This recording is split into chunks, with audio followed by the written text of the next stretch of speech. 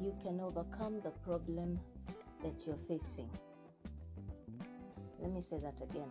You can overcome the problem that you're facing currently, right now, and the ones you've been facing. In 1 John chapter 5 verse 4, I'm reading from the NIV, it says for everyone born of God overcomes the world.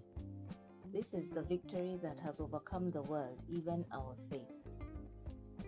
So yes, we face difficulties in life, no doubt, but they only give us an opportunity to trust the Lord and to overcome.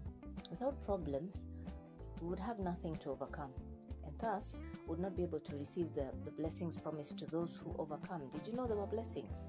There are seven promises in, in um, Revelation that are given to overcomers. This is the last one. Revelations 3, verse 21.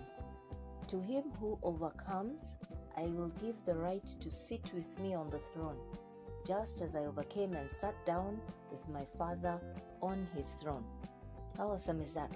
We don't usually remember or think or even know that there are specific promises for when you overcome because it's written that in this life we'll have trials and tribulations. That is given.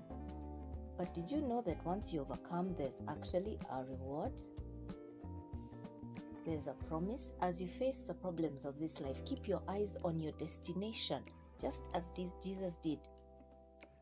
Walk closely to God and depend on Him. He will not fail you. 1 John 4 and 4 says, You, dear children, are from God and have overcome them, because the one who is in you is greater than the one that is in the world.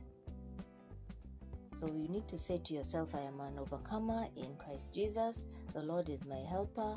The one who is in me is greater than any problem. Barikiwa.